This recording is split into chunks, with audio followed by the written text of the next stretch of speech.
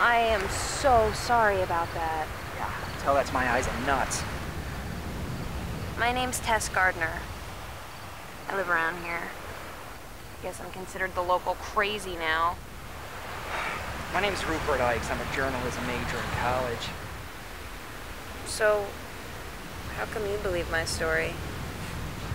To tell you the truth, I'm studying your population decline problem.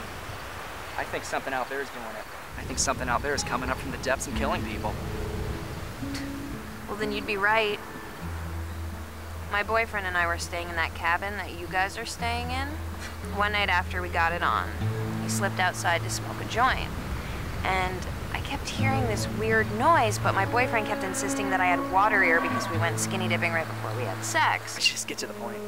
So then these creatures attacked us, and I ran away, but they ripped him apart and dragged him back into the ocean.